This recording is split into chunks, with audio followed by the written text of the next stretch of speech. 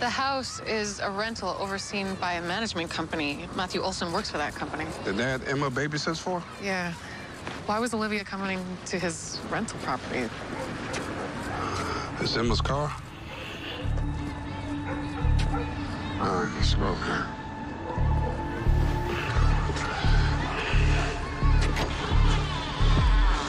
LAPD, we're coming in.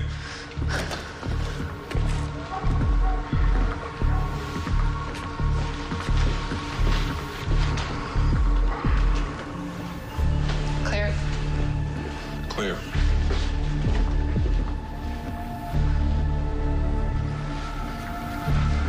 Claire? Clear.